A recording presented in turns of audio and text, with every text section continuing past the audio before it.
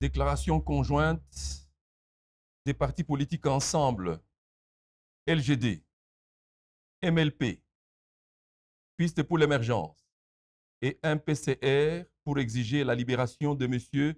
Seth Kikouni et des autres prisonniers d'opinion.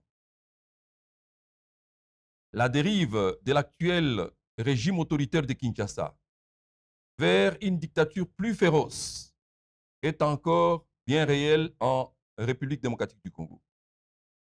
Par son incapacité à trouver des solutions face aux défis politiques, socio-économiques, sécuritaires et humanitaires, M. Félix Tshisekedi voit le mal partout. Il veut imposer une pensée unique aux Congolais en essayant par tous les moyens de museler l'opposition politique et réduire au silence toute voix discordante surtout celles qui s'élèvent pour le mettre devant ses responsabilités. L'arrestation de l'opposant Seth Kikouni, de toute évidence préméditée, est intervenue en date du 2 septembre 2024, alors que ce dernier se trouvait dans son bureau de travail. Et par une curieuse coïncidence, le même jour que l'horrible massacre des détenus à la prison, euh, à la prison centrale de Makala, comme si c'était un moyen de faire taire un opposant qui n'hésite pas à hausser le ton contre les exactions et antivaleurs érigées en mode de gestion par les pouvoirs en place.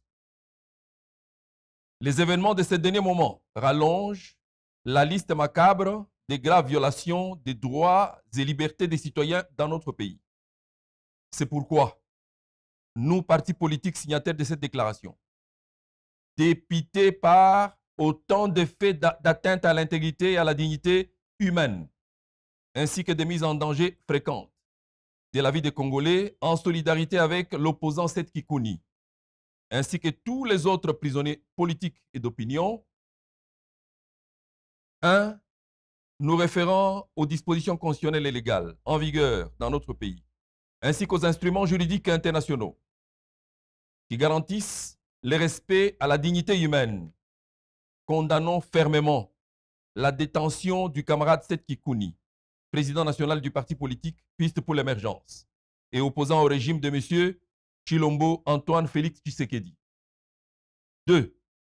Exigeons sa libération immédiate et sans condition et demandons que les enquêtes soient ouvertes pour dégager les responsabilités suite à toutes les violations intentionnelles de ses droits et libertés fondamentales dont particulièrement les interdictions de visites et de communications avec sa famille, ses avocats, voire son médecin. 3. Dénonçons les cas des arrestations et détentions arbitraires des tueurs Mike Mukebai, Jean-Marc Abunde, Daniel Safou, Jacques Sinzaera, Gloire Sassita, ainsi que les actes de barbarie, des massacres des civils dans les lieux de culte à Goma et Katsenga ou Katanga, ou des détenus à la prison centrale de Makala, et exigeons aussi leur libération immédiate. 4. Déplorons l'instrumentalisation des services de, de sécurité, des MIAP et ANER, à des fins de répression politique les traitements inhumains et dégradants dans les lieux de détention. Nous exigeons des poursuites judiciaires contre leurs auteurs. 5. Lançons un appel à la population de se mobiliser de toutes ses forces pour défendre la Constitution et la démocratie, aujourd'hui mise à mal par les dérives dictatoriales d'un pouvoir essoufflé et incapable de répondre aux aspirations profondes et de se tenir prête à prendre part active à toutes les initiatives ou activités pacifiques et légales contre les atteintes à sa dignité et à sa souveraineté. 6. Enfin, alertons tous les pays amis du Congo au sein de l'Union africaine et de la communauté internationale du danger permanent que représente le régime Tshisekedi, sujet des violations des droits et libertés des citoyens, alors que nous sommes dans une démocratie constitutionnelle. Et à cet égard, exhortons les Nations Unies et les partenaires internationaux de rejeter la candidature de la RDC au Conseil des droits de l'homme des Nations Unies tant que ces abus persisteront. fait à Kinshasa le 24 septembre 2024. Merci.